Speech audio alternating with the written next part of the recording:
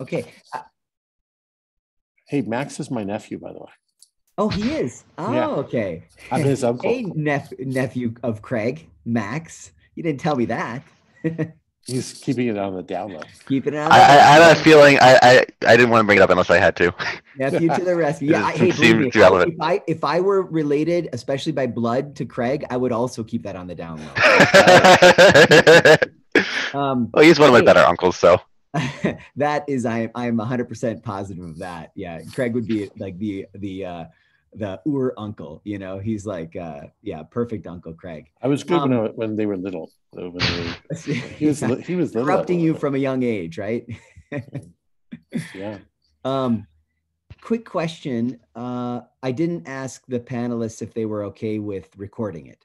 Uh, so I figure I should ask them. Are you guys okay with that, Daniel and Yeah, Ananya? it's fine. Okay. It's fine with me. This Great. way I can watch it if I have to leave. So I appreciate that. An- Ana- Ananya, right? Ananya. Yeah, hi. Hi. And I just wanted to uh, tell Craig that I'm a big fan of your long emails. I mean, every day I'm literally waking up, reading your emails, which are like full of all the details, and I appreciate it. Yeah, they're really good. Well, thank you. That's very nice of you to say. I think my jokes maybe um, have become like real dad. they are amazing. Yeah. No, no, Well, no. Well, thank you. I, I appreciate that. It's nice to hear because for every one of the a comment like that, I hear um, probably about two that say your emails are far too long. Yeah, and they're both from me. Both of those. That's right. yeah, because Okay, they're I'm gonna- almost like long letters. So they're fascinating. Uh, okay, I'm going to come right back, but I have to. I'm going to take a break. But g- have a good session. Okay. Thanks, Craig. Yeah. See ya. Hi, Bye. Emma. I don't think I've ever met you in person, but I know I, I I'm a Facebook friend of yours. I actually I'm, I may not be, but I see you comment. You make witty comments on Craig's insane Facebook posts all the time, and I like them.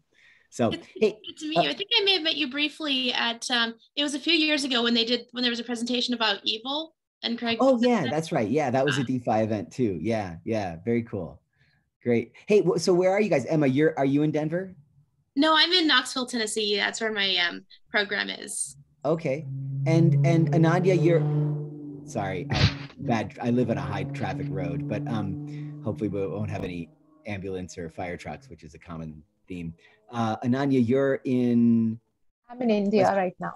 West Bengal, is that right? Yeah, yeah, that's right. Cool. I've spent a fair amount of time in West Bengal actually. Really? When? Um probably before you were born, maybe in the late 90s. Uh I I, Oh, I um, was born. you were okay. Well, uh, I, I, my first degree is in South Asian studies, and I did a master's degree in South Asian, in, in like Sanskrit, medieval Sanskrit literature. okay. And um, so I lived amazing. off and on in India for about five or six years of my life, and I, I Oh, love wow. India, but haven't So- haven't been back now in probably eight years, I think. Okay. You should come again. Oh, I would love to. Yeah, that it's it's on my short list. Mhm. Um, so where did you live in West Bengal? Like, uh, Um, I've spent time in Calcutta. Um, I a fair amount of time there. I spent a lot of time actually in Darjeeling and in the towns around Oh. Darjeeling, uh, Mhm. little mountain towns. I had a friend who was uh, a Vajrayana Buddhist up there who I Okay. met actually at a monastery in um, uh, in uh, Bodh Gaya. And Mhm. uh, and then I spent a lot of time in Sikkim, which I realize isn't technically West Bengal and culturally very different, but Yeah, that's right. Yeah. Wow. I didn't know about this coincidence. this little connection. when I saw your paper, I'm like, oh, look at that. It's amazing that you're writing about funny games. I'm really excited to hear about that. And Daniel, how about yourself? Where are you uh, joining us from? I'm on the east coast of China. I'm in East Zhejiang Coast province. of China. Yeah, I'm in Wenzhou. Oh, wow. How long have you been there? Uh, this is my fourth year. I'm teaching at a, a higher ed Sino-foreign university, uh, English language school. Wow, super cool. So what's the closest city that I would know that I would know?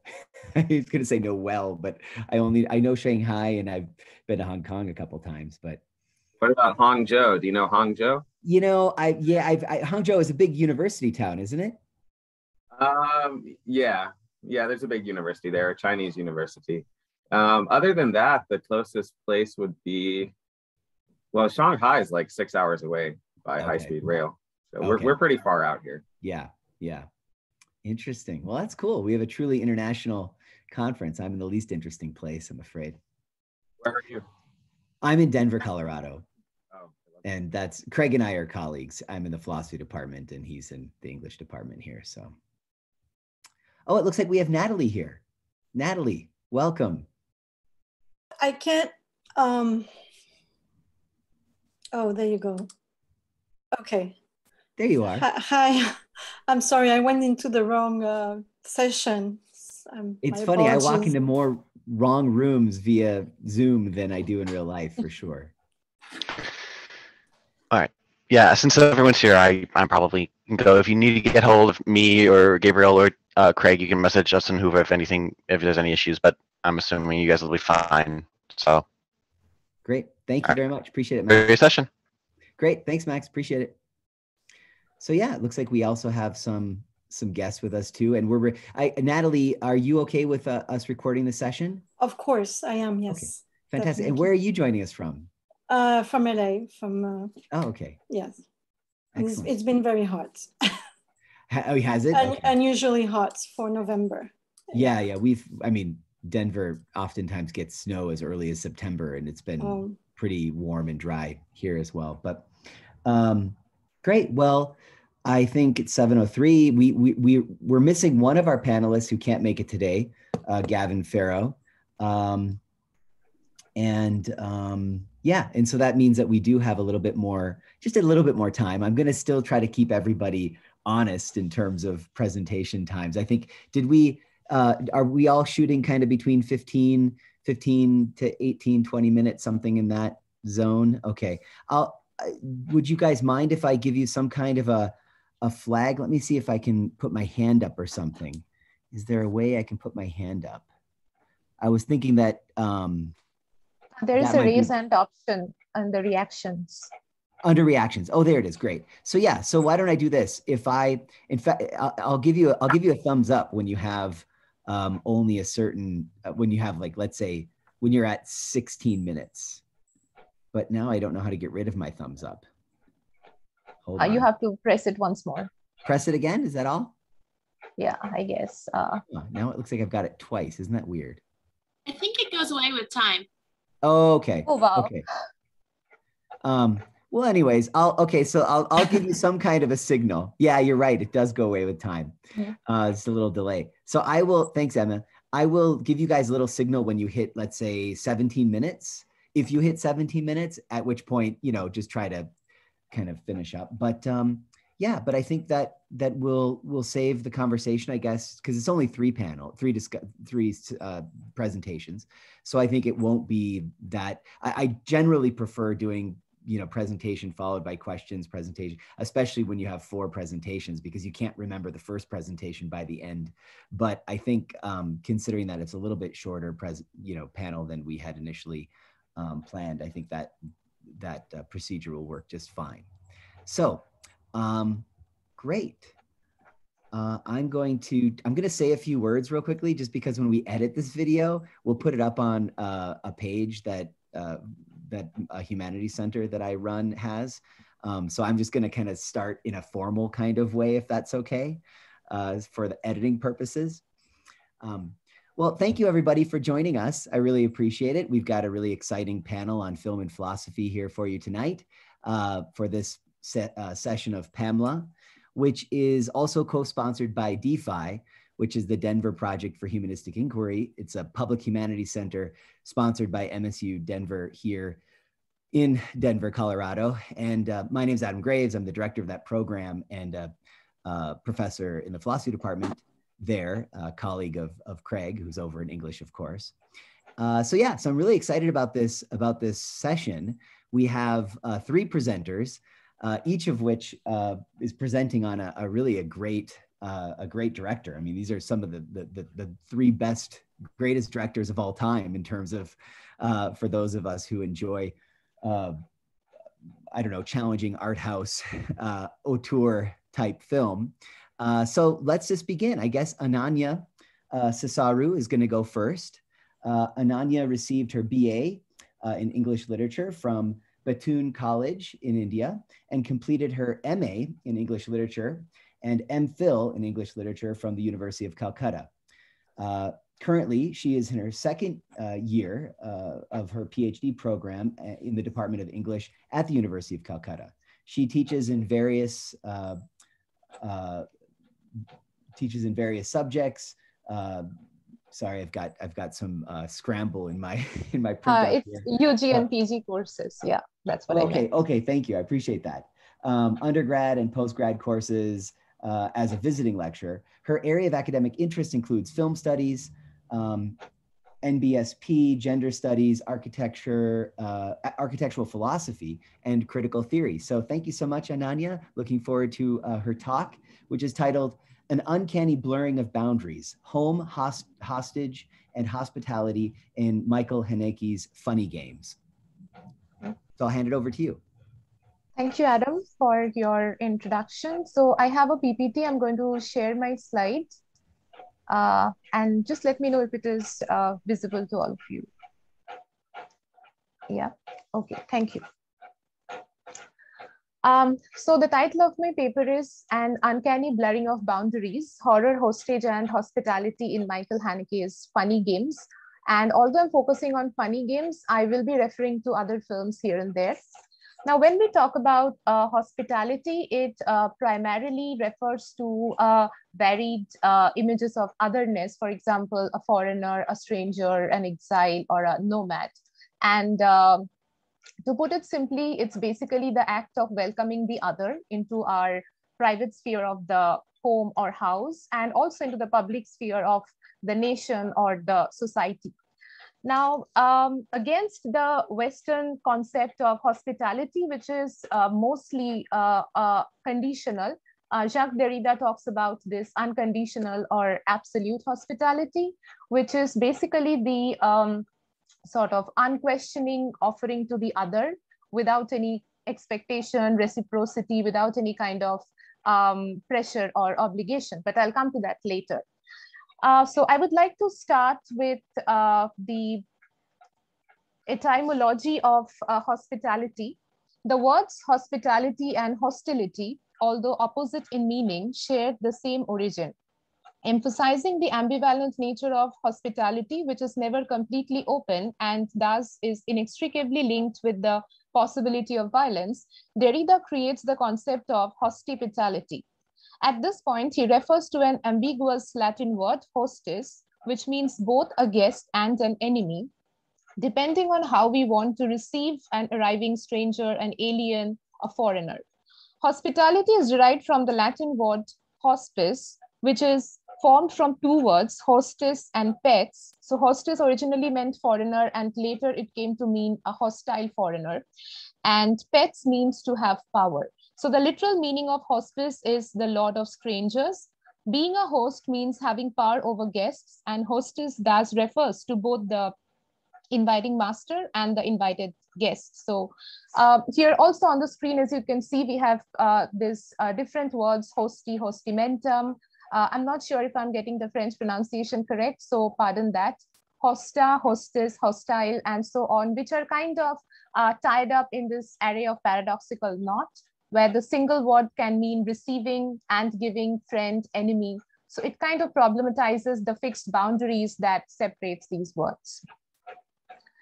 So I would refer to uh, this film by Michael Haneke, uh, Time of the Wolf, which came out in 2003. And it's a post-apocalyptic film which starts with a family of four uh, who are kind of escaping from this uh, unknown ecological catastrophe and they come to their vacation home only to find that it was already occupied by a set of threatening strangers. So this uh, very idea of home, which is supposed to be a safe place and a place of comfort, is suddenly disrupted. It suddenly turns upside down as George, who is uh, the father of the family, the so-called master of the house, he offers a gesture of hospitality and that is immediately answered by a gunshot. He is killed and the entire family is thrown outside in the cold without anything to support their life. Uh, so this deterritorialization of the home, which Freud would perhaps call the uncanny, continues uh, not only in this film, but also in many films. And we'll see this lack of empathy, lack of uh, kindness, and a very deep humanitarian crisis.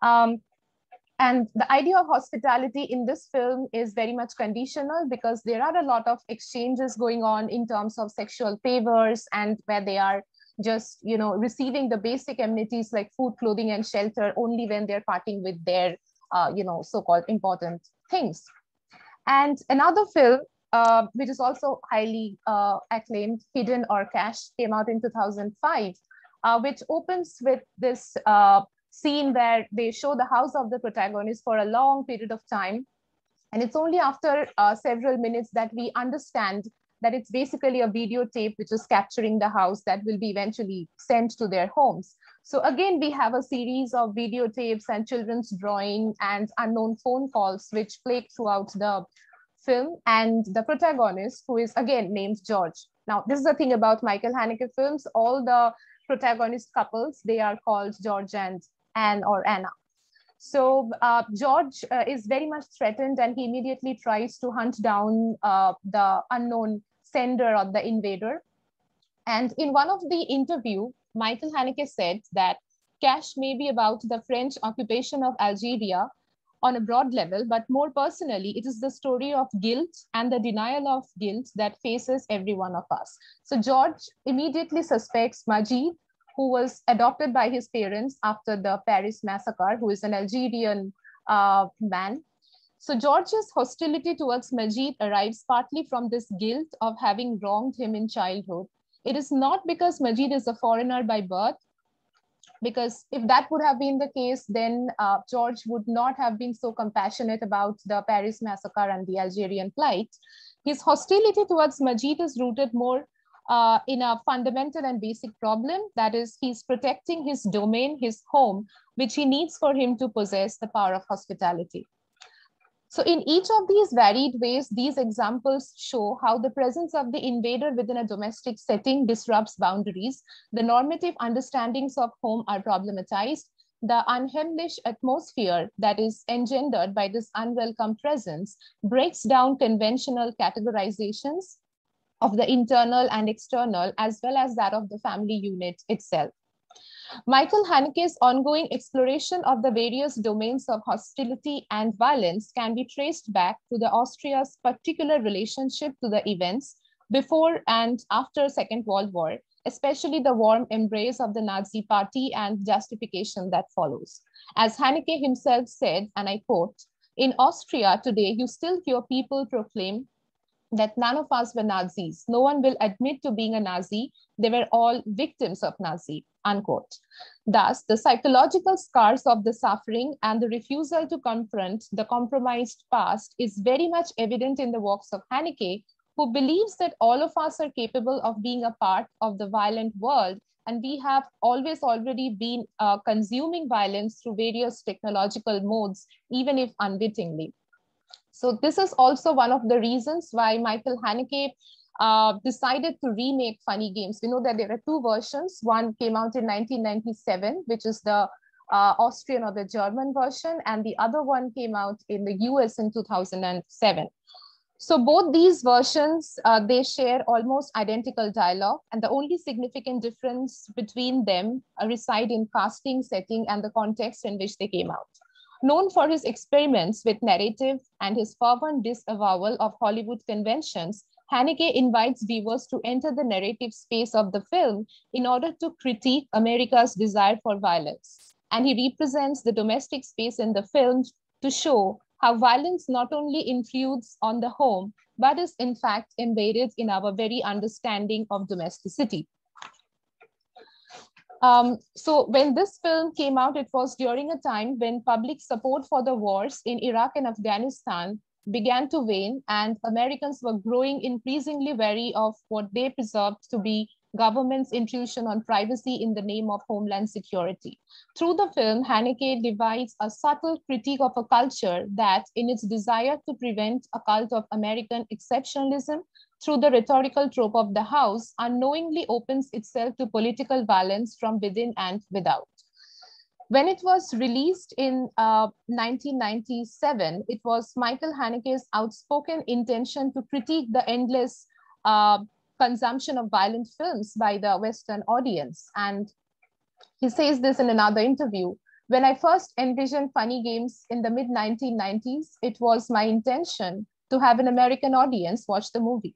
It is a reaction to a certain American cinema, its violence, its naivety, the way American cinema toys with human beings. In many American films, violence is made consumable. But because I made funny games in German with actors not familiar to US audiences, it didn't get through to the people who most needed to see it. Uh, so following this, I would quickly just uh, like to talk about the two types of hospitality because that's what I intend to read in uh, funny games. So uh, Jacques Derrida talks about the conditional hospitality and the unconditional or the absolute hospitality, drawing from Levinas, who had also talked about the same thing. So uh, conditional hospitality, as I mentioned earlier, is more about the uh, hospitality, which has a lot to do with facts and rights and laws. And the unconditional hospitality is where you open up your home without asking a question, not even the name or force the person to speak your own language. But paradoxically, again, uh, the unconditional hospitality leads to a kind of violence that disrupts the space of the house where the master becomes the guest and the guest becomes the master, as we can see in uh, many films of Michael Haneke, including Funny Games and Time of the Wolf. Um, so the film, Funny Games, and these are the clippings from the Funny Games, shows the importance of absolute hospitality, telling the story of a family who take two young men, Peter and Paul, under their roof. On the surface, the guests are cultured and well-mannered. They use polite forms, yet in their numerous requests to the host, they progress further and finally go beyond all bounds of decency. As guests, they take complete control not only over the house, but also over the fate of the terrorized residents, whom they bully physically and mentally. In Haneke's film, the powerless, defenseless hosts who are held hostage by their guests. The roles are reversed, and it is now the host who turns out to be the guest in their own house, which at this point no longer belongs to them. Um, technology plays an important role in Haneke's films, TV, videotapes, phone, camera, etc. In Seventh Continent, the TV goes on even when the family has collectively committed suicide. In Cash, the conflict between the French and the Algerians are played in a loop on the television as the family suffers invasion from an unknown entity uh, to their space. In an interview for the journal Positif, Haneke explains that he has been witness to the television's invasion of the domestic space and its hijacking of the cinema's unique pleasures. I'm most concerned with television in society I'm most concerned with television as the key symbol primarily of the media representation of violence and more generally of a greater crisis, which I see as our collective loss of reality and societal disorientation. Alienation is a very complex problem, but television is certainly implicated in it. And in this regard, we also have Jacques Derrida writing in Echographies. Already, I have the impression that our control is very limited. I'm at home, but with all these machines and all these processes watching, surrounding, seducing us, the quote natural conditions of expression, discussion, reflection, deliberation are to a large extent breached, falsified, and warped. So, in other words, the fear of the other is not just fear of the other, but it's the fear of an entire network and apparatus of technology that does violence to our sense of home and our sense of self. It is a situation of my home where communication and technology in the form of surveillance interrupts my sense of home and makes me feel not at home. In funny games, the various uh, technological tropes include the music system, the automatic gate, the cell phone, and above all, the television. The home is increasingly armored by technology as the family insinuates themselves from the world with their money the gate that is meant to protect the family is shown to be the cause of their difficulty to escape. The phone is out of order. The golf clubs and expensive knives purchased as status symbols are used to injure them. Their boats provide a getaway for the villains. The television, meant for entertainment, soon paves way to a series of violent, sadistic murder games played upon the hostages by Peter and Paul. And unlike the conventional mechanism of a television, here the remote is under the control of the guests who can even rewind the actions. Paul reverses the time to prevent the murder of his partner, Peter. It is as if he gets to decide how the film ends. Disrupting the linearity, the whole narrative of the film is now under his control and everyone else is rendered powerless. He makes the rules, others abide by it. There is no choice. Heads and tails both cater to the same result here. The dichotomy is thus reversed. You are no longer the master of the house, even though the boys ironically refer to him as the captain, your rules no longer work on anybody and you have no control even on the gates and doors uh, and on the TV, uh, which is inside the house. So these group of people, they become strangers in their own house and the earlier guests, they become more and more comfortable in their personal space. With little Georgie's murder and the splintering of his blood on the TV screen completes the violent imagery that prevails throughout the film. Leaving much of the brutality against bodies off screen, Haneke draws our attention to the borders of the image and the limits of our visibility. The film's refusal to reveal the most disturbing images or voyeuristic gazes into its borders mirrors the house's own attempt to wall out that which would cause us harm. When the men force Anna to undress, they cover George's eyes with a pillowcase, and the spectators are also blocked from seeing her naked body as the camera frames her only from shoulders up. And finally, uh, I would just like to comment on uh, this very interesting part where Haneke almost breaks the fourth wall and we have the characters directly looking at the camera and making conversation with us. So um, Haneke states that all the rules that exist to keep the society functioning are nothing to them. And here the boys, they exist outside the rules of the society and outside the film. When one of them questions, you think they stand a chance? You are on their side, aren't you?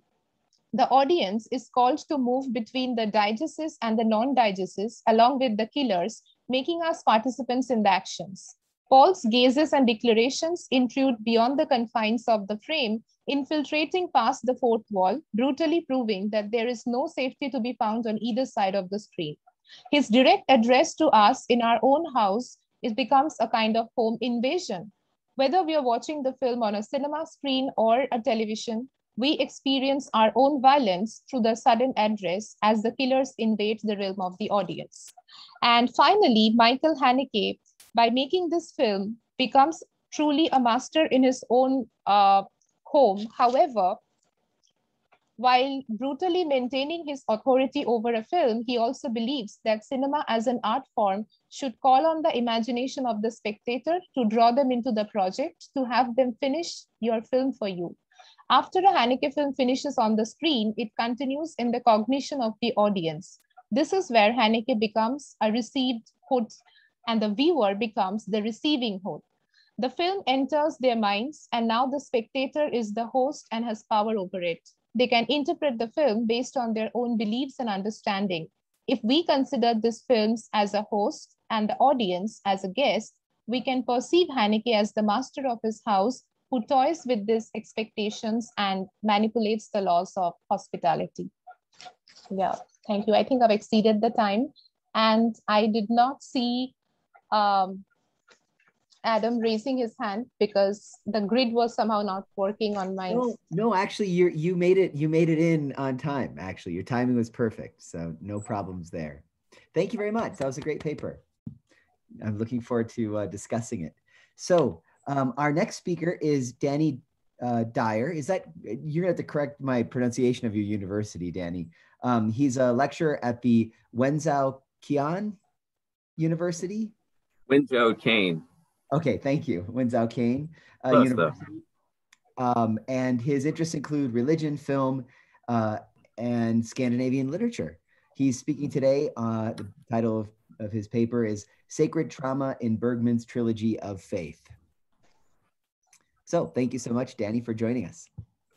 Thanks, guys. Thanks for having me. Uh, let me share my screen. Okay, so I'll be reading part of a paper and I have a PPT with images, hopefully to break up the monotony. Uh, okay, can you guys see my PPT? Yep, Yep, we can. Okay, cool. All right. So my presentation is called Sacred Trauma, Language and Recovery in Ingmar Bergman's Faith Trilogy. It's basically a Lacanian psychoanalysis of religious themes in Bergman. And there's a picture of Bergman there. That's not me. I'm Danny Dyer. All right. Uh, so few, few 20th century filmmakers concern themselves with spiritual angst more than Ingmar Bergman.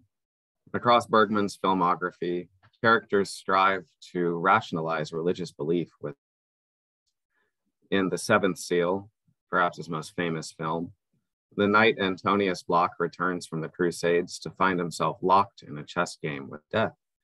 Block speaks to death disguised as a priest when Block asks, Why can't I kill God in me? Why does he live on in me in a humiliating way, despite me wanting to evict him from my heart? Subsequent, the magician, an acting troupe finds a vagrant left to die in the wild. The vagrant reflects on his life. I've prayed one prayer in my life use me, O God, but he never understood what a devoted slave I'd, slave I'd have been. This sort of spiritual angst appears so often in Bergman's work that it's come to occupy much of the critical discussion, either as derision of the films or conjecture about Bergman's life and how his life inspired those themes. Uh, for example, more recently, critic Jonathan Rosenbaum accuses Bergman of trafficking in bitter and pinched emotions that, though chic, remain ugly ones, no matter how stylishly they might be served up. Biographer and apologist Marianne Höök, on the other hand, asserts that Bergman's production is intimately biographical, one big first person narrative drama. Spiritual angst features prominently in Bergman's trilogy of faith, with films that include Through a Glass Darkly, Winter Light, and The Silence. And of course, critics have found connections between these films and Bergman's biography. Critics see in Through a Glass Darkly and Winter Light echoes of Bergman's agnosticism and troubled relationship with his father, who was an overbearing Lutheran pastor whom Bergman would refer often to in interviews.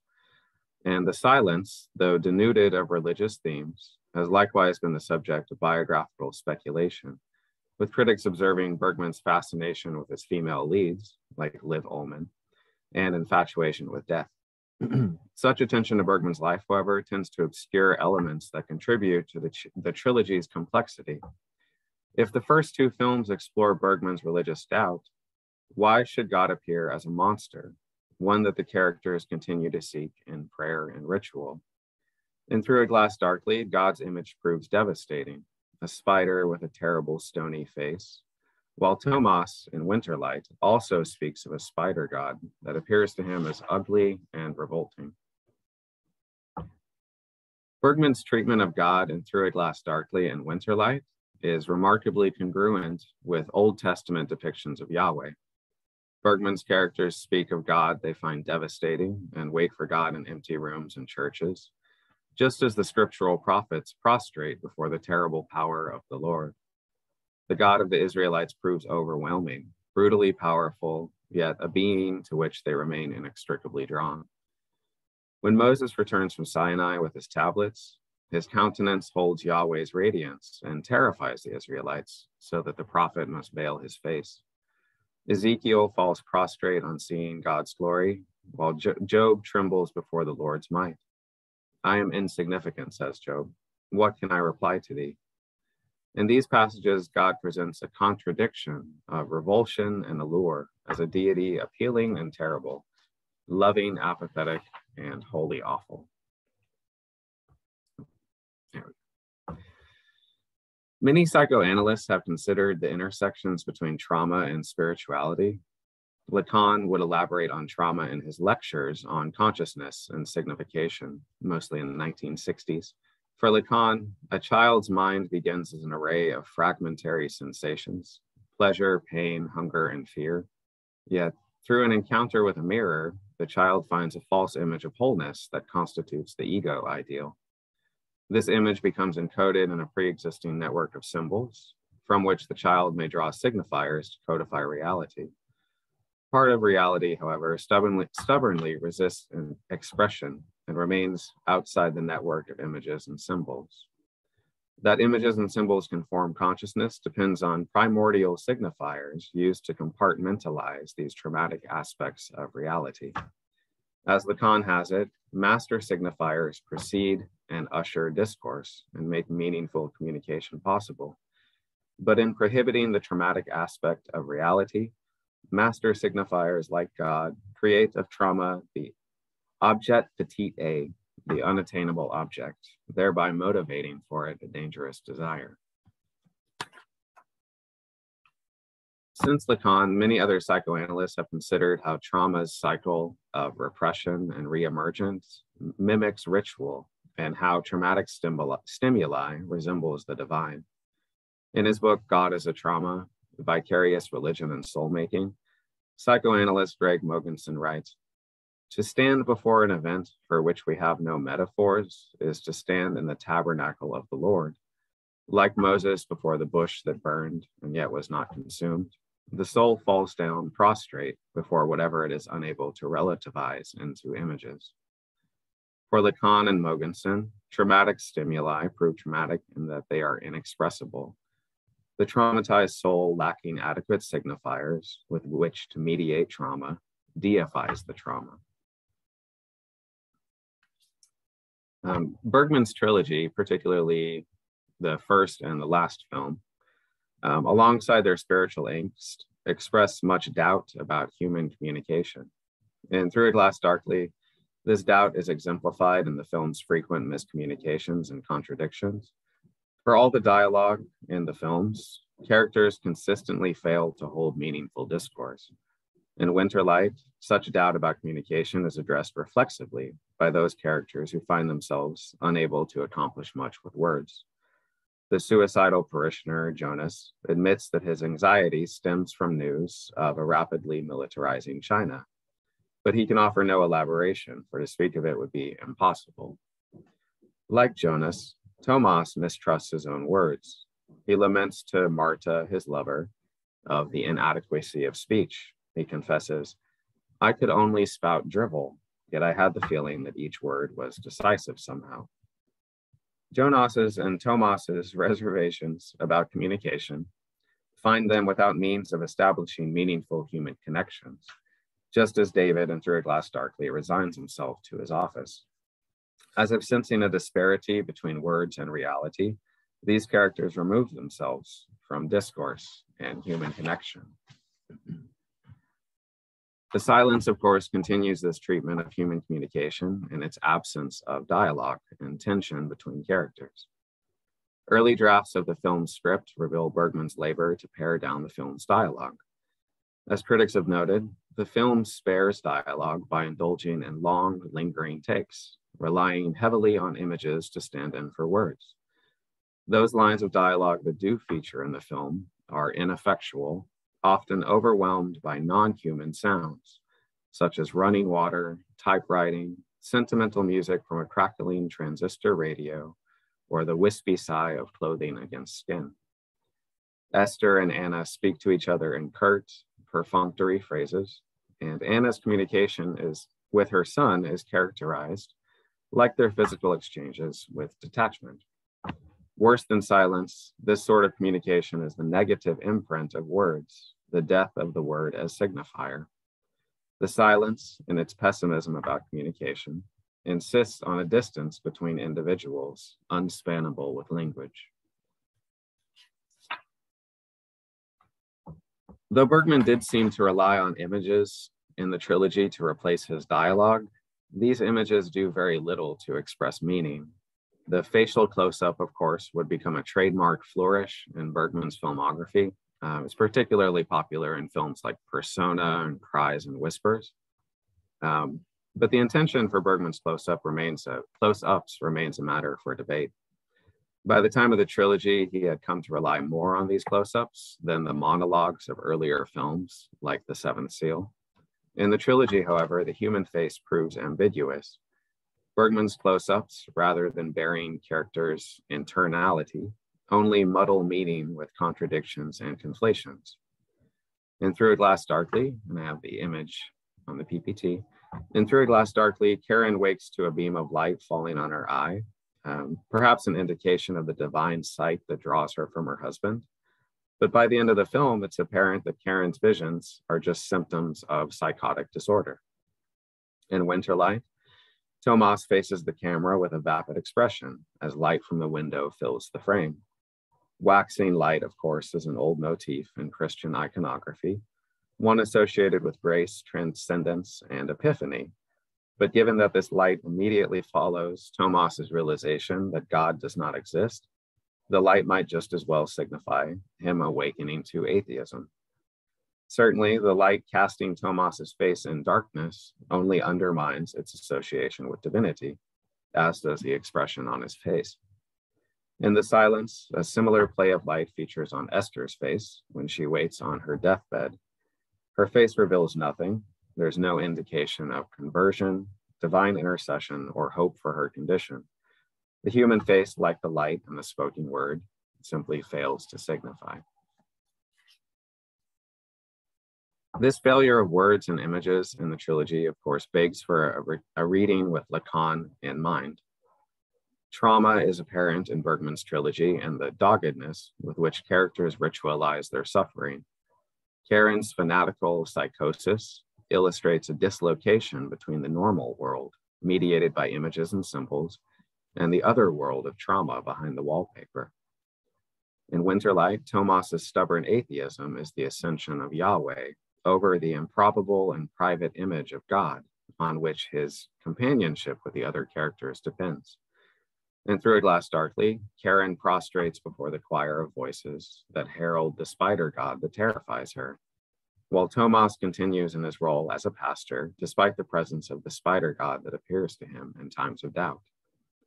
The silence, as the anomaly in the trilogy, works differently in dealing with trauma in that it depicts an extra symbolic wasteland Anna, Esther, and Johan arrive in Timoka, where the people speak an unrecognizable language. Anna attempts a connection with a waiter through a shallow sexual encounter, while Esther babbles manically to an incoherent bellhop. Isolation, so symptomatic to trauma, proves disastrous for recovery by estranging the individual further from language. Despite this difficulty with communication and isolation, however, there is some indication of hope for recovery. Lacan describes psychosis as a complete exclusion from discourse due to the absence of a necessary master signifier. Therefore, hope for Karen's recovery is faint, as her condition arises not from a single traumatic event, but by a complete failure to exist within the symbolic orders. In David's case, however, his conversation with his son reveals hope. David insists on the importance of a love that he can't touch or name, but which he likens to God. David's instruction that Minus should listen represents his reconciliation with language, the fabrication of a new master signifier by which discourse is once again possible. In winter Winterlight, Tomas's estrangement from discourse is made clear immediately following the epiphany in his chamber. Tomas ceases to exist in any practical sense, so estranged from discourse by trauma. However, Tomas's ensuing performance of the Eucharist at the end of the film indicates a movement toward recovery. In terms of the ritual's significance, the Eucharist represents a new pact with the symbolic and imaginary orders by the reconstruction of the master signifier, that is, God. In terms of the silence, however, Esther's fate at the end offers little suggestion of hope. Esther, the academic with a history of trauma, lingers post symbolically. Once skilled at letters and languages, Esther can no more communicate with the bellhop than she can with her sister, with whom her few interactions are either curt or inappropriately desirous. It's perhaps unsurprising then that the only other incestual relationship suggested in the trilogy occurs between Minus and Karen, instigated by the latter at the height of a psychotic episode. Perhaps due in part to Esther's psychosis, Esther finds no recovery, but instead dies alone in Timoka, the culmination of the extreme isolation of the traumatized individual bereft of symbols with which to mediate trauma. Um, so in closing, as a Lacanian reading of the trilogy might suggest, the religious doubt exhibited in Bergman's films and inarticulation go hand in hand. In their various depictions of God, the trilogy of faith might suggest that though we may abandon our temples and desecrate our altars in our quest to repress God, God's position in the human psyche persists, only to return in times of sickness, death, and trauma. If nothing else, Bergman's trilogy emphasizes the importance of images and symbols. In a 1963 interview with Vilgot Sjöman, Ingmar Bergman cites a passage from Pär Lagerkvist's novel, The Death of Ahasuerus. Beyond the gods, beyond all that falsifies and coarsens the world of holiness, beyond all lies and distortion, all twisted divinities and all the abortions of human imagination, there must be something stupendous that is inaccessible to us, which by our very failure to capture it demonstrates how inaccessible it is. Beyond all the sacred clutter, the holy thing itself must exist. Considering this revelation in light of the treatments of trauma, language, and God in his trilogy of faith, it's clear that the pursuit of the sacred, the inexpressible, preoccupied Ingmar Bergman. In questioning the values of images, narrative, and language, the films imply a limit to which reality may be adequately conveyed. That which exceeds this limit, call it the uncanny, the real, trauma, abjection, or God, exists beyond the sacred clutter of languages and images. In Through a Glass Darkly, Winter Light and the Silence, Bergman points out that the distinction between reality and subjectivity is irrelevant. Individuals should instead, instead strive for these moments of human contact. Okay, and that's it. Thank you. Great. Thank you so much, Daniel. Wonderful presentation. Really enjoyed that. Um, Great. Okay. Well, our next speaker, uh, last but not least, is Natalie Burrell, who teaches French language and culture at the, at the Department of French and Italian at USC, as well as a seminar in representations of Paris in film and literature. Her research focuses on language pedagogy, the teaching of foreign languages, as well as Eric Rohmer's work. Um, and maybe actually, Natalie, maybe you could clear up something for me. Um, as okay, someone who's sure. tried to learn French over the years, mm-hmm. I would say Eric Rohmer, but Rohmer. In, Ro- Rohmer. Rohmer. Okay, so it is a we do pronounce the R good, Eric Rohmer, because that's all you ever hear, especially you know in the English speaking world is Rohmer. Well, Rohmer, I suppose, is what you hear most often. But okay. yeah. uh, and her paper's title is "Moral Choice in Tales of the Four Seasons" by Eric Rohmer. Okay, I'm a little intimidated, I have to say, with the transition and and uh, you know Rohmer and uh, Han- Haneke, and uh, it's not going to be the same. But uh, anyway, I hope you will like it. Uh, so I'm gonna uh, have to share. Uh, how do I share the screen again? I'm so sorry. No, no, no problem at all. So there should uh, yeah, there you go. Okay. You see that down below? Okay, great. Yes. Now, are you sharing, Natalie? I didn't ask. Are you sharing video or just your PowerPoint? So everything is in my PowerPoint. So I, are there mm-hmm. videos in there as well? Yes, yes, a couple. So you might need to go and click on that share screen button again. Okay. Um, there should be an option. Let me see here. Um, you should see an option on the bar that says more. And if you click on that, Natalie, uh-huh. then you'll see something that says like optimize sound for optimize screen share for video clip. Perfect. Okay. Click that. Okay. Wonderful. Thank you so much. Um, well, thank you for inviting me to your to your panel. I appreciate it. So I just started um, some research um, on Eric Rohmer. Um, I've um, it, has been um, I've I've always uh, studied Rohmer, but I decided to really uh, focus on it. So it's I'm at the beginning stage of uh, of a question that I would like to develop a little further. Uh, but I have been teaching um, essentially uh, Rohmer and um, and the French New Wave to my students um, in in, in the context of general education courses. Uh, but I'm going to talk about um, the moral choice, uh, the question of moral choice, um, especially in in, uh, in the aesthetics of Eric Rohmer, Um, and I'm going to focus on the tales of the four seasons. Um, so, oops. So in this presentation, I will talk about the theme of moral choice in Eric Rohmer's series, uh, Tale of the Four Seasons. I will briefly discuss how the tales are in line with the philosophy of cinema by explaining first how Rohmer's aesthetics define it and eventually the significance of moral choice or choices on the life of the characters as we, his audience, follow his characters' lives and become affected by their every move, their decisions and indecisions. The cycle of the tales uh, of the four seasons that he directed from 1990 to 1998 acknowledges the philosophical dimension of the theme of moral choice, a recurrent question in uh, uh, Rohmer's movies. So it's in this framework, I will therefore discuss how Stanley Cavell, the, um, um I hope I pronounce it properly, uh, the American philosopher and other French philosophers and scholars have analyzed how Rohmer's work tests of the ordinary language philosophy and how his movies impact, um, impact us with uh, our moral choices. So for those of you, I mean, it's not um, maybe the, maybe I shouldn't say, but, but if, you, if you're not familiar with Rohmer's work, he's an acclaimed movie director who belonged to the French New Wave of the 60s, often called the camera stylo, um, camera pen, uh, as a means of personal expression. He started making movies in 1962 and he continued well after the, the new wave until 2007. His movies are essentially uh, created in cycles. For example, from 1962 to 1972, he directed the cycle of the Six Moral Tales.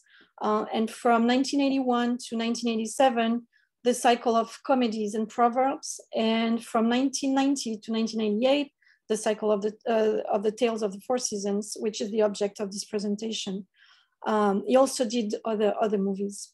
Um, shaped by um, André Bazin's realism, um, uh, um, Rohmer was also a writer and editor-in-chief for the renowned French film review Les Cahiers du Cinéma, as well as a literature professor and a writer, and most of his movies were adapted from his own writings.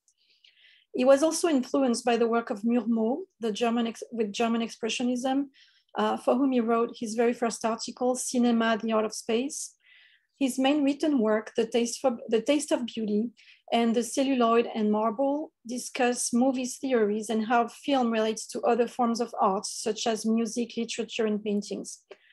Um, and as I said earlier, he started making movies in the 60s and up until he directed his last movie in 2007 and he passed away in 2010. So um, to stick to the to the topic um, of the, the presentation and of the panel, I, um, I'm going to talk briefly um, uh, so what can philosophy of cinema teach us about moral choice? According to Cavell, in the world viewed, cinema is a new beginning to moral philosophy because the knowledge provided by the experience of a movie is correlated to the knowledge we have about ourselves, about our ordinary lives. When we engage in a movie, we go through a process of what he calls skepticism, a process of many emotions such as doubts, refusal, and reconciliation and acceptance. Um, so um, he did write, um, so on, he, he wrote about uh, Tale of Winter because um, he, in his book, he, he discussed Shakespeare's play. But he did say on Eric Rohmer's Tale of Winter, um, he writes, Rohmer's film um, has found its way of marking the intersection of contingency and necessity, of chance and logic. So the initial question in the case of Rohmer's discoveries of his medium is, how, how has he found subjects, meaning persons and places and topics, that on film render the exploration of such ordinary questions of metaphysics or such uh, metaphysical questions of the ordinary representable and of continuous interest? Um, I want to talk about other um, other people interested in um, in Rohmer and in and obviously in the uh, philosophy of cinema. So uh, Sandra Laugier, um, who's a, a, prominent French scholar and a philosopher, um, they have analyzed uh, the work of Stanley Cavell and his legacy in the cinematic experience. Uh, for, for French philosopher Sandra Laugier, who was a former student of Cavell and a translator of some of his books, I, I believe. In her book entitled Stanley Cavell, Cinema and Philosophy, she, she says, quote, through mimesis, the screening of a movie is the answer to the ordinary conversation, and the success of its representation is the success of a skeptical interrogation. Um, she also said that the very finitude of the movie experience is the melancholic acceptation of separation of our condition. Here is the most profound lesson Cavell is giving us. His way to show that how to show how cinema as well as philosophy is truly the education of adults.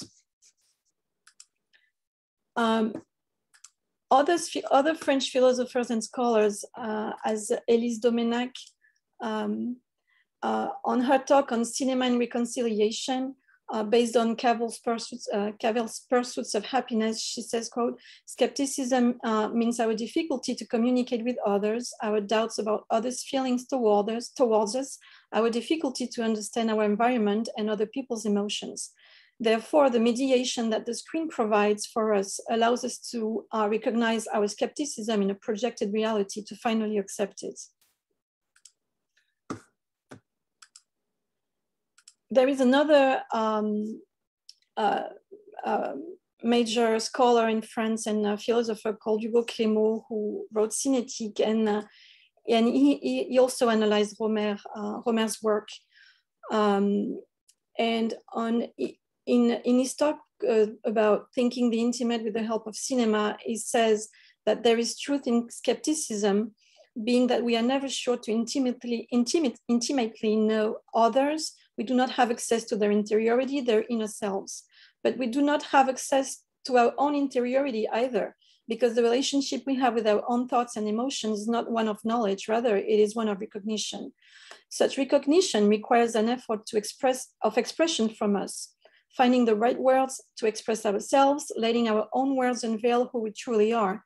In this perspective, recognizing my own words and those of others as mine, observing a movie patiently and, and attentively, finding the words to describe the filmic experience, bridges the, ab- the abyss that separates us from ourselves, from others, and from the most ordinary things, end quote. Um, in his book entitled Cinéthique, as I said, um, he discusses the ordinary moral life of uh, movie Winter Tale uh, that I'm going to show you. Um, I'm going to show you um, a clip a little later on, and he explains explains how we are bound to be moved by the ending of a movie, by the ending of the movie, um, and we are moved by the character's destiny uh, in in uh, Tale of Winter, because as viewers, cinema pushes us to an ordinary experience. So I'm going to discuss right now um, the, the, the, the, tale of the tales of the four seasons from this uh, framework. And so the tales of the four seasons were made from, um, it, they are part of a cycle. Um, I, I, am going to concentrate today just on, um, for a question of time, on a tale, a tale of spring and tale of uh, winter. Um, and um, um, so for for tale of for for winter tale tale of winter uh, rather narrates the story of Felicie. So it's it's her, and I'm just wondering if I no never mind. So so the the synopsis for for for tale of winter narrates the story of Felicie's um, stunted life, who loses contact with the man she loves and with whom she ends up she ends up having a child. Uh, having met during the summer, they go back to Paris, but sadly, she miswrites his address and loses contact with him for five years. So there's basically, um, instead of writing um, um, Le Val uh, Courbevoie, I think she writes Le Valois. So she completely loses um, his, uh, his contacts. Um, it is only after, uh, in the movie, it's, it's only after praying at church uh, and seeing Shakespeare's play with a, with, with a friend of hers, uh, The Winter's Tale, that she realizes she needs to search for Charles. She, she kind of has an, an epiphany.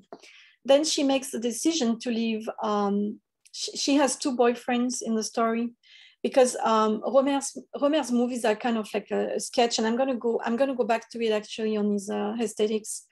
Uh, there's always um, a skeleton with uh, one man and, and three women, or um, one woman and three men.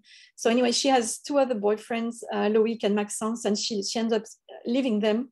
Uh, and she moves many times. There's, there's this uh, relation to space um, from Paris to Nevers, and then from Nevers to Paris, and, and even she even moves within the city of Paris. Spring Tales um, uh, narrate the story of Jeanne, a philosophy teacher who is temporarily temporarily without a space. So this is again this question of space. A, a pianist, Natasha, offers to, to, to host her and she accepts. The map gets complicated when Natasha's father and his girlfriend appear. The commute to the country house, her boyfriend's apartment, and Natasha's house will clarify Jane's decision not to fall in love with Natasha's dad, who is interested in her. So I'm gonna, I'm, uh, right here. So here you can see um, a little bit of the, um, so this is Tale of Spring. This is Igor, um, um, Natasha, Jeanne here, and Eve, the girlfriend. And you can see um, that Rohmer is very careful with colors. Uh, and for the Tale of Spring, it's, uh, it's, it's white and green. The, the colors are white and green. In Tale of Winter, um, Félicie here and uh, Charles, so they met in the summer and they lost uh, they lost track of each other and he doesn't know that she's expecting a, she, that she had a, a daughter, uh, Elise, I think. Um, and you can see the, the contrast between the summer, the light, and the winter. Um, so I'm going to show you um, a first uh, clip of um, of um, Tale of Spring. And please let me know if you can if you can hear everything. À quoi je pense en ce moment Vous pensez à quoi Can you hear? À mon cours de lundi après-midi. Yes, we can. Okay, thank you. Vous êtes vraiment détaché de la situation présente Non, c'est en fonction d'elle que j'y pense. J'essayais simplement de me souvenir à quoi je pensais tout à l'heure quand j'ai dit oui. Pensée transcendantale Non, psychologique plutôt. Et alors? Eh bien, au stade actuel de ma réflexion, qui a été brève, je pense surtout que je ne pensais à rien. Enfin, je veux dire, à aucun des motifs qui règle la conduite des êtres les uns envers les autres. Attraction, répulsion, amour, haine, domination, soumission, enfin. Je ne pensais ni à vous, ni à Mathieu, ni même à moi. Vous voulez dire que vous avez agi par automatisme? Pas exactement. J'ai agi par logique. La logique du nombre. Celle du nombre 3. Jamais 203. Oui, c'est un jeu. Il y a aussi toute cette tradition du nombre 3 le triangle, le syllogisme, la trinité, la triade hégélienne, enfin, je ne sais pas. Toutes ces choses qui définissent un monde clos, qui instaurent le définitif et qui donnent peut-être la clé du mystère. Mais je ne me sentais pas entraînée par une force extérieure. C'était par libre choix. J'ai vraiment agi par honnêteté envers la logique. J'aurais pu dire non, mais j'avais l'impression que c'était triché. C'était pas de jeu, comme je disais quand j'étais petite. Vous savez, c'était un peu la raison pour moi aussi. Un peu? Oui, ce, ce n'était pas la seule. En fait, reste une personne en fonction de qui, ou plus exactement contre qui j'ai déterminé mon choix. Vous savez qui c'est? Ce n'est ni vous ni moi, ni votre fiancée, avez-vous dit Ève? Eh non, c'est Natacha. On venait de parler d'elle. Okay, so in this scene, um, the, the we, we can see Igor and Jeanne, and um, they are uh, Jeanne and, and showed up uh, unexpectedly to uh, to um, Igor's house, and he met her through uh, Igor's daughter, uh, Natasha, and Igor has a girlfriend. He's divorced. He has a girlfriend, but he does fall in love with uh, with Jeanne. And here in this conversation, um, she she explains to him her her ch the choice, the choice of not um, uh, not uh, having a relationship with him. So here there's the story of the syllogism, the definite world, the logic uh, that that um, that end up ends up being uh, her decision. Um, I'm going to show you now um, the a scene of the Tale of Winter.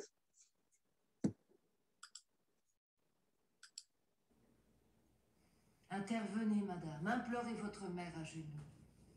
Chère reine, c'est votre Perdita retrouvée. Oh, mon Dieu, penchez-vous et versez de vos urnes sacrées vos grâces sur le front de ma fille. Dis-moi, enfant, comment tu fus sauvé Où tu vécus Et comment tu revins à la cour de ton père? Car tu sauras que moi, Paulina m'ayant dit que l'oracle faisait espérer ton retour, j'ai voulu vivre afin de voir l'issue.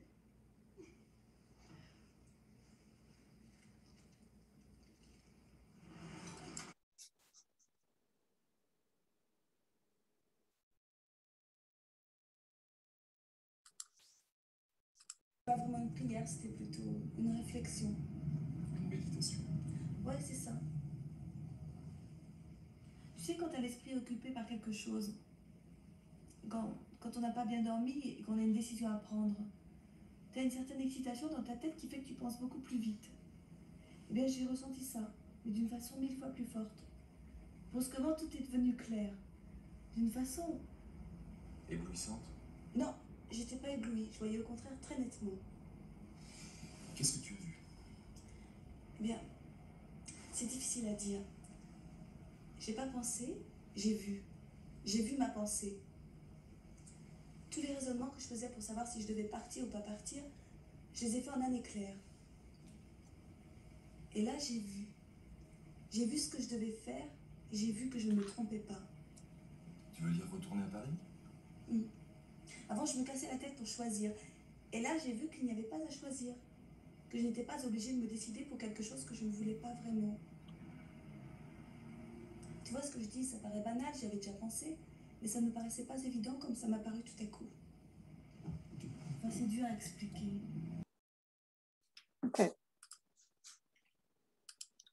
So, um, Félicie, like I said, who um, uh, who lost track of her boyfriend, of Charles, um, uh, ends up uh, meeting him uh, just uh, by coincidence uh, in Paris five years later.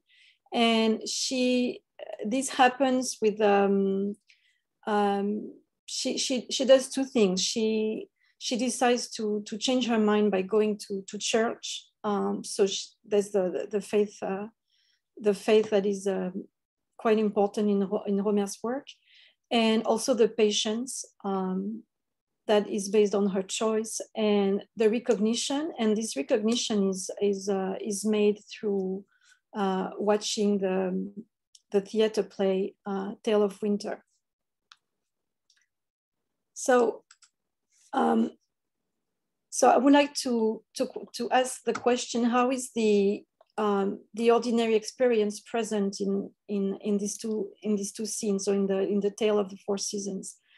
So um, his movies are made uh, in cycle series and the cycle of the tale uh, of the fourth season plays a variation on moral choices. And there are, there are two points. Um, so his movie's aesthetics rely on the realistic aspects of of his, visual style that you must have seen, the exterior movie scenes, the respect of the length of time, the avoidance of dramatic scenes and improvisation. Uh, the dialogues and the intrigues of, the, of his movies are linked by symmetries, coincidence, coincidences, paradoxes, both for the characters and the audience. Uh, there are two points that I would like to discuss further. It's time and space. For time, uh, to understand the, the tale of the fourth season is to elicit the polysemy of time. The tale um, of the four seasons is defined as time, um, as in the weather that is unveiling in the movies, a weather that is unpredictable and beyond our control. Cinema is an art that explores space and time. It can be the weather in the movie and the time that passes by, And the truth about cinema is to recognize our limits of time and space. We can assume the analogy that the limits of time can also be the limit of our choices given to us, which in turn can result in indecisions or refusal to choose. In Tale of the Four Seasons, the work of Rohmer is to figure out situations, to initiate and eventually to do the right choice, as in the Tale of Winter, for Felicie, patience wins over resignation and despair. Um, in the article of uh, Rohmer's short stories, uh, uh, David Vass, um, a French scholar and film critic, I believe, emphasizes how time or lack thereof uh, has an effect on the character's decisions, that which time becomes intertwined with space. In Rendezvous de Paris, the narrative consists in creating a parallel time among the characters. Uh, Vass, Vass, David Vass even, even talks about uh, the asymptote to define it, this line that never really meets. Um, so that brings us that brings us to um, my uh, my last point. Um, so space. Um, this is too small. Okay. Uh, the, wor the words that Rohmer's characters cannot seem to live without are a constitutive part of their identity and of the spaces they, in they inhabit. It creates a complicated labyrinth of words and images in which the characters need to find their exit.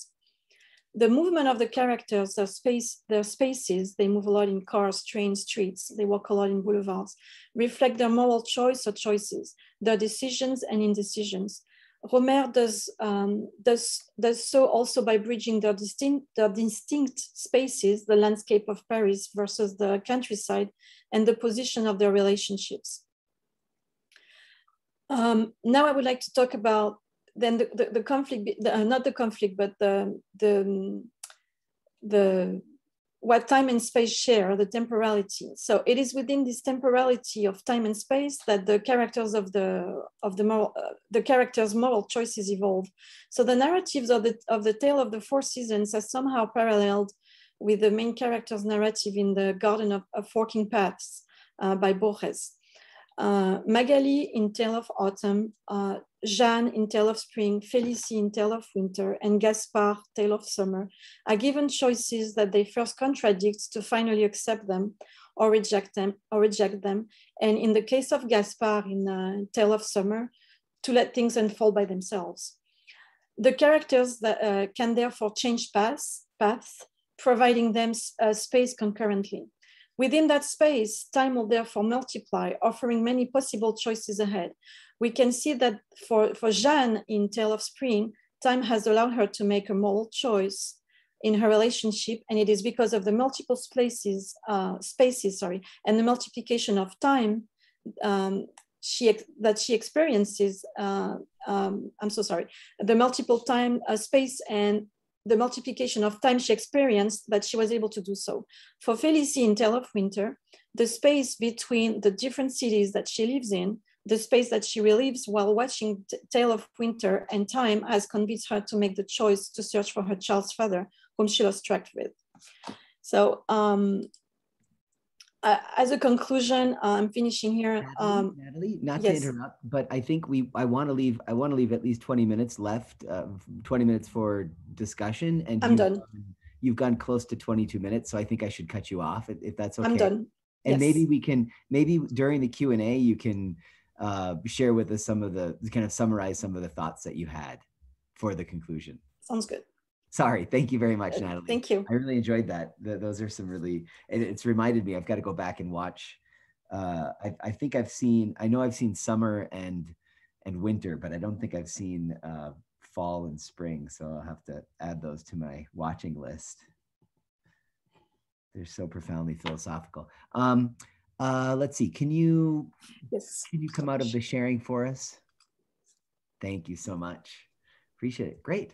Well, um, so yeah, we have about 20 minutes, uh, little little less than that, but I guess Craig has told us that we can take a little bit longer since we're at the tail end of the of the evening if we need to. Um, so yeah, so I think uh, participants can go ahead and, and chime in. Um, just make sure that you've unmuted yourself. uh, and you you can you know feel free to to to use your cameras as well. Does anybody have a question to start us off? I, I do. I have a question for uh, for Daniel um, about you, and I, I didn't catch what you said, but I, I thought it, the the light technique that is in uh, in Winter Light on uh, the the slide that says facial close-ups. You talked about wax, but I'm not sure if I understood properly. Sorry, say that last part again. Winter light, the facial close-up. Um, the the slide that says uh, whose title was facial close-ups. You talked about um, the light technique um, on one of the characters, and I, I, just want I just wanted you to to um, just to to tell me again what what technique was used. I, I didn't catch that. It's, it's such a it's such a strange moment in the film. I think it's one of the strangest moments in any film that I've ever seen.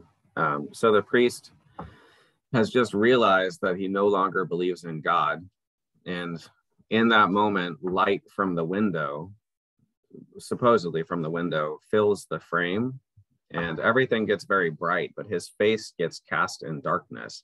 So it's like this sort of epiphany, but at the same time, he's shaded in dark. So I think I think what Bergman's doing there is using light um, rather than to show some kind of character change. It actually just confuses the meaning of the scene.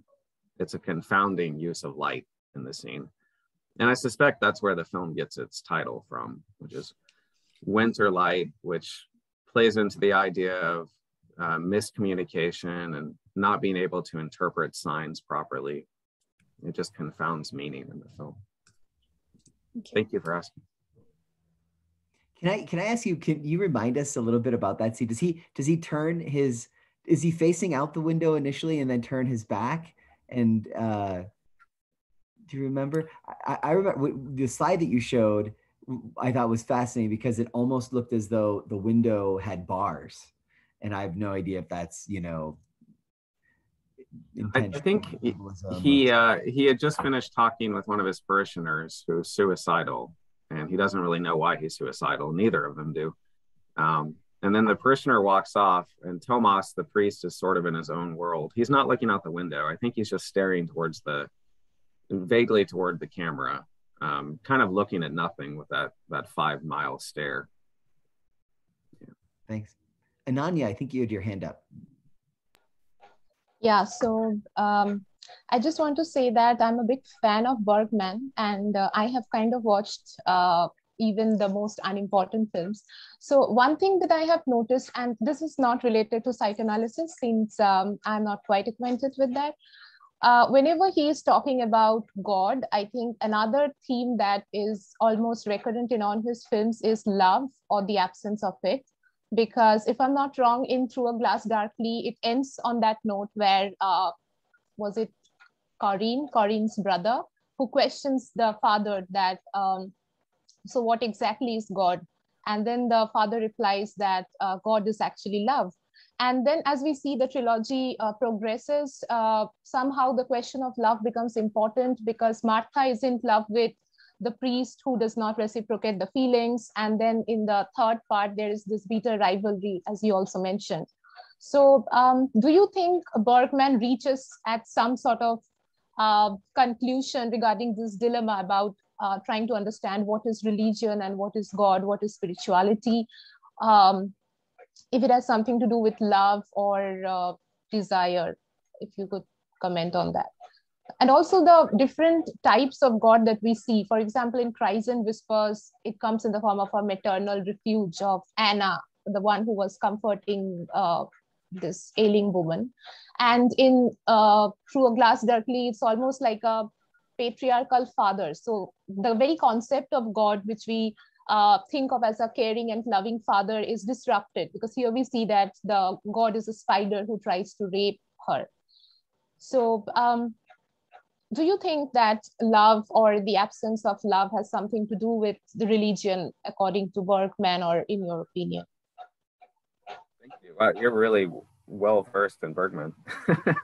Um, you know it's, it's hard hard for me to say. I think like one theme throughout bergman's bergman's work is the the stubborn insistence on love and hope in the face of God's silence in an indifferent world and the problem of evil, right? I do know in his later years, right before he died, he was talking a lot more about God than he ever had before. So I don't know if that suggests a conversion. Um, I haven't seen Fanny and Alexander. I refuse to watch it because it's the last masterpiece I haven't seen of his, and it would break my heart to watch it. I like to know that it's still out there. So I can't really speak about his later films. But I, I do think I think the trilogy insists, like I said in the paper, on the importance of human connection and maybe the importance practice as a with other people. The absence of I think Bergman respected the the philosophy Hmm. religion. Thank you for the question. No problem. Uh, and also uh, about Eric Rohmer, I have just seen one film. It's also a very short one. I think it's called The Bakery Girl of Monceau. And uh, you were talking about this uh, presence of one actor and two actresses, or sometimes it's just one lover and three beloveds. So I think it was also there in that film where um, this man was fascinated by a girl and then she disappears all of a sudden and then he tries to pretend to fall in love with this other girl who was uh, working in the bakery so uh, so it's just an observation that the very Yeah. dilemma and the question of moral choice is also there Yeah, And and he it's. Mhm. Mhm. Sorry, go ahead. No so uh, so this term of moral choice i mean if we look at the ending of that film uh, he goes with that a woman he was in love with but in between he has kind of broken the heart of the bakery girl. So when a Rohmer is using the term moral choice is he like kind of um, uh, you know playing with the word also in uh, kind of presenting the immorality uh, reflected in the characters or uh, so uh, why are they called the moral choices? Is it just because of the dilemma and the inconclusiveness of the choices? So, so that it's an initial, it's it's um it- it's an initial study that I'm doing that I'm starting, uh, but I am doing the the, the moral choice. I don't think that the characters of Eric Rohmer are immoral. I wouldn't call them immoral. No, there's never any. Um, th- they there are always boundaries within the the characters with with what they do. But in moral choice, um, I wanted to um, um, to talk about um, the, all his his aesthetics um, impacts the the moral choice. For example, you're talking about one man and and three women, or um, there's always uh, the, the situations are always intricate, always complex, because he's uh, he's, he's he loves architecture and he loves geometry, and there's always a part of um, of that in his um, in his narratives. You always have this uh, this mathematical narrative mixed in it, and um, and I think that's uh, that's that's how the the choices uh, get complicated. But morally, uh, yeah, that's that's that's my understanding of um, of uh, you know that I mean that's my approach. It's the aesthetic approach. But if you have another idea, I'm willing to listen to. Uh, No, I I'm, have only I'm open to suggestions because I'm just starting the study. yeah i've just watched one film so i don't think that would be very ethical on my part to comment right so So sorry, I have to go teach. I, I wish I could stay for longer. I have to teach in eight minutes. Thank you, Daniel. Really appreciate it. Thanks for being Thanks here. so much for the questions. All right, take care. Bye. Bye. Ananya, I have a question about, um, and, and maybe you stated this, and I, I was just kind of toying with the technology for a moment, but I'm wondering how, where you come down on the relationship between H- Haneke's films and, and say Derrida's conception of, of hospitality. Um, I'm, you know, obviously Derrida's dri- driving a lot of his, his, his ideas at that kind of later stage of his work from Levinas, who talks about you know respons- radical responsibility involving a kind of substitution, an inversion, and you talked a lot about that, um, where the the instead of being just responsible for the other, we become kind of the hostage of the other. And um, and and it and the i mean it, the points that you made the connections you made were so like once you made them I, I don't think i had ever made them before but once you made them i was like of course yes. Like i was really you know I, it was fun especially with Caché um the, the because that that that I, I enjoy funny games. I mean, to the you know, enjoy. I think it's an interesting movie. Um, you know, you, you you're you're in some sense traumatized by it. I mean, it's almost as if the directors deliberately taking the audience hostage and um, Mhm. going with us and and torturing us in some ways. But um, in Caché, if I'm not mistaken, the person it's been a while since I've seen it, but I have seen it a couple times. Um, the the it turns out, I mean, spoiler alert, uh, the person who's videotaping the, the their house is is the boy, um, Algerian boy who the family had kind of almost adopted at one point, and then and then for some reason, um, if I'm not mistaken, they Um, it was yes.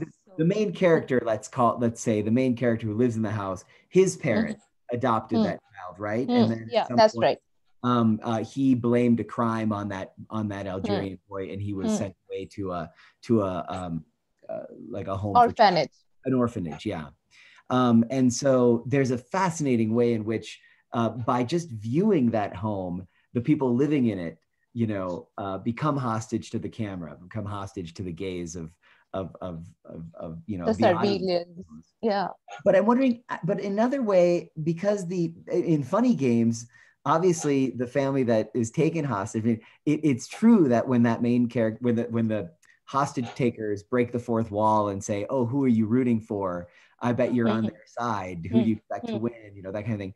Um you know what what i'm just wondering what you think haneke is saying. Do you think he's saying that that i'm wondering if he's if he's in some sense rejecting this idea that more responsibility requires us to become hostage to the other and to become the victim of a, of a, of a violence um, is, is, is there not something, some third choice?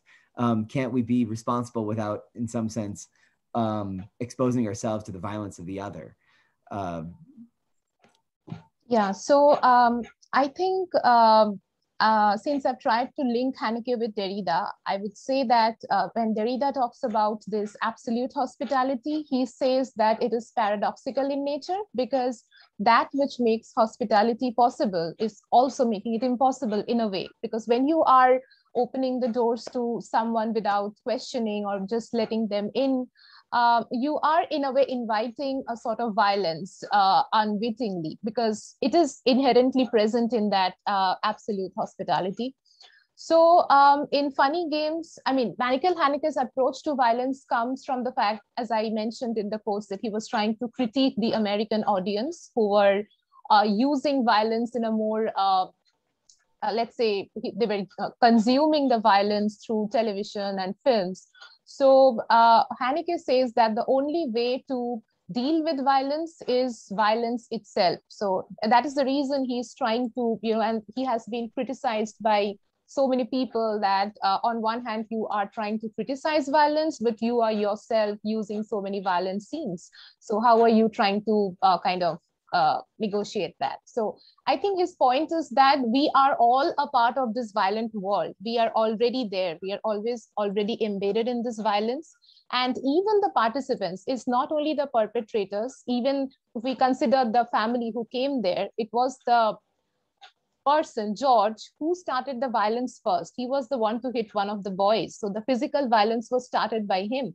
It's not that they are not capable of violence. It's just that they are maybe wearing a facade of this bourgeois, uh, you know, uh, sentiments and so on, which is preventing them. So Haneke is coming from uh, a kind of place where he has witnessed the humanitarian crisis, the world wars, and so many things falling apart in the world which kind of shows that uh, we are all uh, capable of violence. And instead of enjoying violence through media, uh, maybe we need to put ourselves in their shoes and try to figure out if that happens. And I think the breaking of the fourth wall was also trying to drag the audience onto the film so that they can be a participant. And I think the choice is important because Peter says that you can you are on their side, aren't you? Which means you can also be on our side. So this choice kind of uh, leaves the audience in a position that they can be either with the perpetrators or uh, with the victims. Um, yeah, I, Haneke actually has a series of interviews where he talks about this violence uh, in different journals and stuff. So one point that becomes recurrent in his interview is this, that he wants to kill violence with violence. And, um, and there's also one thing different about him. He's not exactly showing violence on screen. If uh, you notice all his violent scenes are just, uh, for example, when the boy is killed, it's not shown, it's the blood that is splintered on the television. So um, he says that he wants the audience to kind of have some sort of expectation or hope about what happens uh, when violence is created. So he leaves it up to the audience, to their imagination. Uh, so that's a way of handling uh, his violence. And uh, these tropes, these technological tropes like camera, television, and all these things, they kind of uh, become instrumental in bringing the violence to your home, the home which is supposed to be your safe space. And uh, turns out it's not. So, yeah, interesting. Well said. I think the that's whereas you know if, it, if it's a critique of, of hollywood cinema let's say american hollywood cinema where violence is a set it's not just aestheticized in the classical sense um, such that it becomes a cathartic thing. It's it's almost it's almost just made it's it's just made sheer entertainment. It's made trivial. And and um, and I feel like that you know, Funny Games is is is a movie where you experience violence in such a way that you genuinely feel violated and, you, and it makes you kind of dis- it makes you disgusted. No one leaves the theater feeling mm. happy.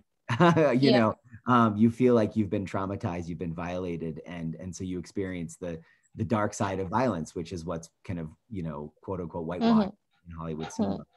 You mentioned that uh, uh, responsibility, the problem of responsibility is being kind of this uh, um, auto deconstructive paradoxical concept where the conditions mm-hmm. of its possibility are also the conditions of its impossibility and so on and so forth. I have a question for you, Natalie, actually on that same point, because I think that's what that's what Derrida says about a decision, right? He says, at least again, like in, in, in writings from the 80s and 90s, he says that undecidability is the condition of possibility for making a genuine decision. If you can if you can simply weigh the pros and cons and make a decision on that basis, then it's not a genuine decision. Then it's just a mere calculation. Any computer could do that. You just feed it right. the inputs and it will spit out the answer. So genuine human decisions um, can only be made under circumstances where the pros and cons can't, you know, they're, they can't be weighed in this in this particular way. So it has to be undecidable. Um, I guess I, I want to ask you about contingency, especially in a winter's tale, um, or sorry, a tale of winter. Uh, yeah, that's the interesting. The, the yeah, translation is interesting. Yeah, yeah, yeah, yeah. So go Tale ahead. of Winter. Tale, yeah, of, Winter. He changed yeah. it. Yeah. So I'm sorry. Go ahead. What's your question? No, I just well, it, the contingency plays such an important role in that particular film because again, you know, actually this. Well, we let's just say because I know Ananya hasn't seen it for you know this film, so I don't want to spoil it for her because it really is.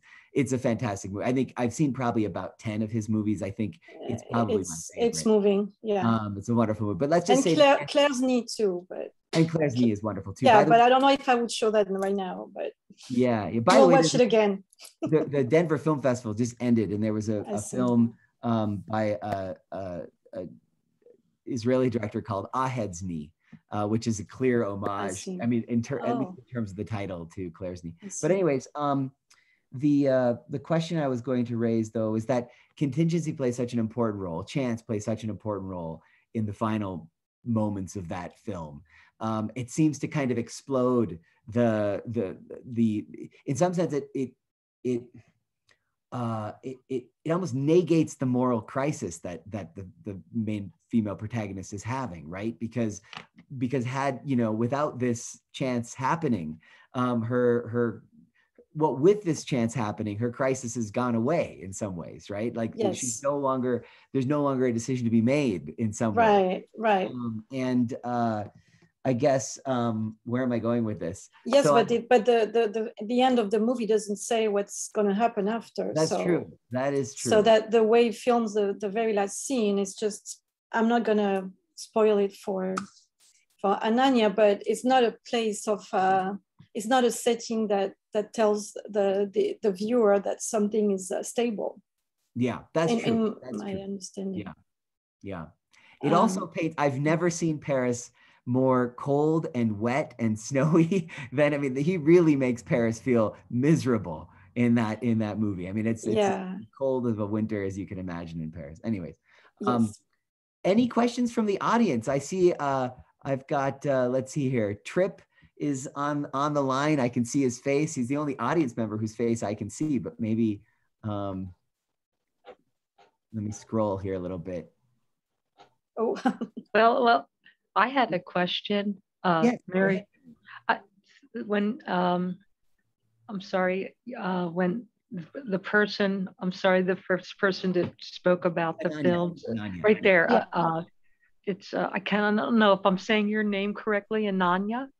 Yeah, that that's right. Yes. Mhm. Uh, when you were um, explaining in your comments about the choice in funny funny games, which I haven't seen, and I want to see lots of these films, but I have seen all of Bergman's films, but decades ago, uh, and I and I. But this is a different question. You were saying the choice. Uh, that this is meant for an American audience, and it was so sad that you know, as a German uh, filmmaker, didn't come here because during the 90s, that was the choice. Either you're with us, you know, this idea we got from uh, the 80s and 90s, either you're with us or you're uh, against us. In other words, uh, that kind of a false dilemma that's in the American uh, cultural mindset has caused many wars, you know, meaning there's a this stark choice, you know, right or wrong. You're either with us or against us. And that Mhm. applies to all the terrorism and, and et cetera. And I think um, that needs to be addressed, right? Is what you were saying. I, I think we have more, and, and that's what the uh, moderator, yes, was saying that we must have more choices than you're with us or against us, Mhm. right? And, and it's, Yeah. uh, yeah. I think it's beyond that. Uh, even uh, with Natalie, it's not about a good choice or a bad choice because, like, it's clearly not black and white. Then there's a lot of spectrum in between. So That's true. yeah, You're right. Yeah, yeah. In other words, it's the paradox is more is much more subtle in the film than than that statement. Either you're with us or against us. You know. Uh, Mm. In other words, they're switching sides in the movie. Yes, thank you. I I wanna guess see that increases the tension to a certain extent when you are just, you know, making such sharp choices that you have to be either with me or with them. Yeah. So yeah. it's hard to be either one of those choices. In other words, we're both of them and and neither in a way is what you were saying. I think he's Mhm. trying to communicate. It's not like it's not really like that to make it Mm. that stark or because you're flipping like a um, yin yang type flip there with the opposites. Right. Yeah, yeah, it's one and the same thing in reality.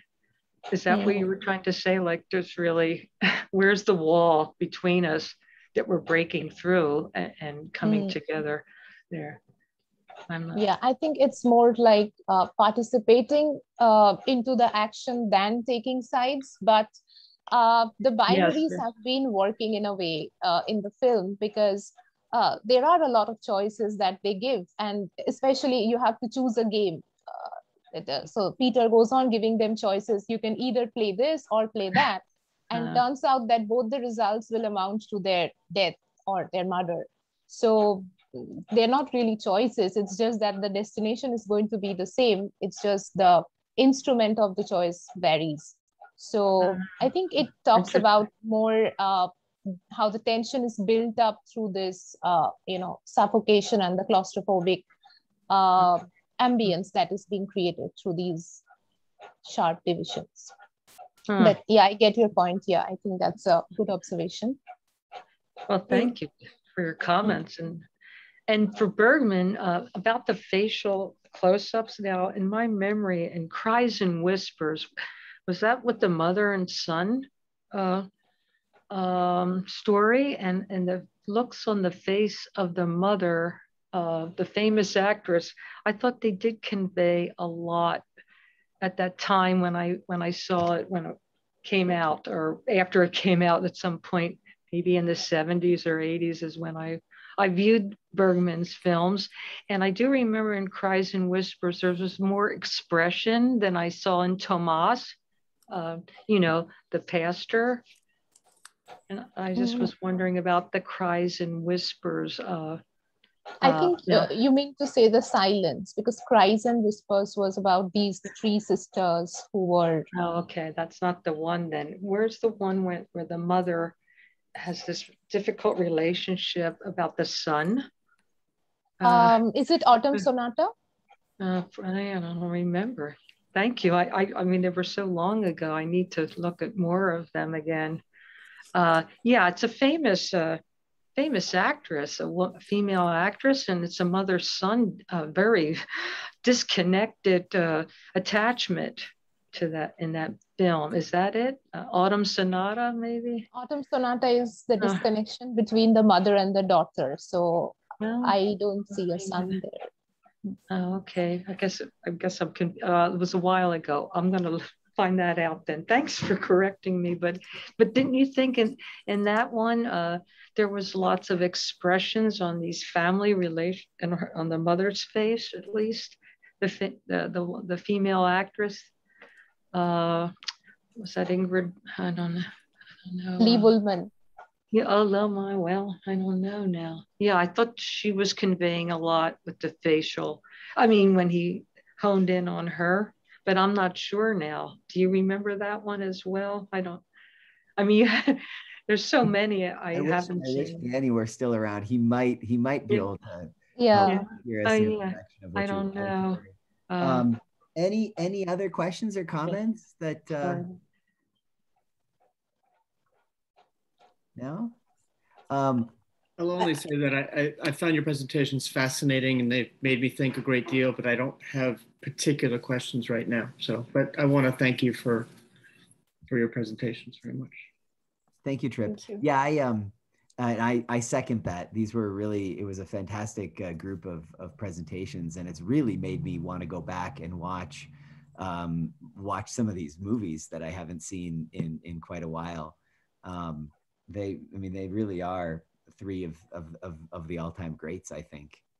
Um, so Emma, I see your face. Do you have a comment or question before we close the session? No, I was just um, thankful for your presentations. I really liked um, uh, just the visuals and the philosophical application. Um, I think those. Um, my my question would have been for um, uh, he left. I forgot his name. Um, Uh, Danny. Then Danny, because I liked what he talked about with the conversations that don't go anywhere and um, and those pauses. But but I think all of your all of your essays were very good, and and thank you. Yeah, they're great. They're great. Um, well, thank you guys, and thank you. Thanks to the to the folks who attended the session too. I really appreciate it. Thanks for joining us. I know there's a lot a lot going on, PAMLA and otherwise. So uh, very kind of you to join us. So round of applause to everybody for participating. Thank you. Um, and uh, yeah, and I think this this video will go up eventually on the D-phi website. There's a Craig might have another place. PAMLA might have a a, a, a website for this as well. But our our website is um, I'll I'll try to type it here if I can. Uh, let's see. And we do we do a lot of film, mostly film and philosophy, but not always just film and philosophy. We do a lot of uh, film events with the Denver Film Society here. In fact, we just got done doing um, a couple of panel discussions at the Denver Film Festival, which concluded just last night. It's a two-week international film festival. It's quite it's quite something actually for a city of the size of Denver. And uh, we did one on one panel on this Ahed's Knee film uh, by uh, a director who the, I, am blanking on his name. He's an Israeli director who made the movie Synonym, Synonyms that was kind of a highly acclaimed film. I think it. Oh, I think I've watched that. Uh, was it about a guy who moves to a different place? And, yeah, uh, an Israeli who moves to Paris. Yeah, yeah. Which I, I bring up in part because it might be. the guy in yellow color coat and uh, he was like doing something like this. Yeah, I, Yeah, I it's- don't remember the director, but yeah, yeah, I watched it. um, uh, Nadav, I think is his name, perhaps Nadav. Yeah. Um, and um, so that, and then there was also we did a panel on a on a South Asian documentary uh, entitled "A Night of Knowing Nothing." Uh, Ananya, have you happened to s- did you see that by chance? It it won best documentary at the um, Cannes Fortnight Film Festival. Uh, so it's very, Mm, no, maybe not yet. Uh, but it's very it's very political. It's really interesting. Um, I'd be curious to to know what you think of it. It it deals a lot, especially as a student in in India right now. It deals a lot with um, you know Modi and, oh, and I think my friend in US watched this. I think it has a lot with student protests and uh, the fascist regime. Yeah, she was talking about it. Yeah, and the, the documentary makes it. It's it's kind of it's. I would say it's a genre bending documentary. It's not what you would if you want to get your uh, grip on Indian contemporary Indian politics. Mm. It's probably not the best place to start. It presupposes a lot and doesn't really provide a lot of information. But one of the things that it it um, suggests is that that I don't know that Modi's administration has been appointing, um, you know. Hindutva friendly, nat, you know, basically religious nationalists to different Yeah. uh, positions at universities across India, which honestly, it sounds a, a lot like a lot like how things stood here in the states under under Trump. Trump. Um, but of course, Trump didn't have the power to, to do that. Although plenty of Republic, plenty plenty of of, of uh, governors do. I, I won't say anything else because I shouldn't. We're recording it, so yeah, yeah, right. Now I get fired. I'm kidding. I'm I'm I'm I'm full professor. I can't. They can't fire me. So I'm just kidding. It's one of the wonderful things about American, you know, at least as long as it lasts, we'll see. Um, What about, Katie, um, I've been trying really hard, by the way. Yeah. Sorry, what was that? I'm, I'm sorry, but I, I can't resist bringing up the Korean film, The Parasite, in relation to what um, Mm. uh, was about the guest. that- Yeah, and, uh, right. na- yeah, Ah, I mean, very I- when you were speaking, I kept the first thing I kept thinking was the. Korean fi- great filmmaker, and that won the best picture that year, just a year Yeah. ago. Too. Isn't it similar?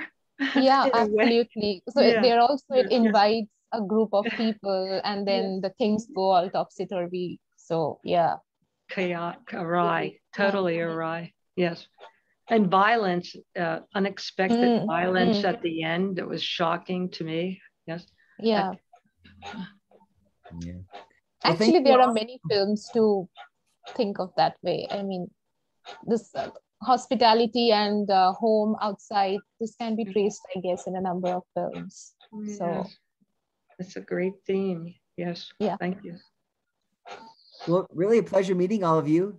Thank you so much for joining the panel Yeah. and um, for those wonderful papers. And yeah, hopefully we stay in touch. So you mind if I take a group selfie before we leave? Is Of that course allowed? not. I, I don't know what a group selfie is, but go for it. Send it to us. Okay, let's see. So it's just going to be a screenshot, I guess. Screenshot. Yeah. Screenshot. And then Shift command three. Great, thank you. Would would one of you send me that? So because I I don't I'm not techno I'm like a luddite. I'm not technologically savvy, so I have no idea how to do it. But please do. We'll post it to our to our. thank. Uh, Uh, so how to get in touch with you? Are you like There you go. on, uh, is it the website that you sent? Yeah, I'm gonna I'm just gonna put my email here so everybody has it. Okay, yeah.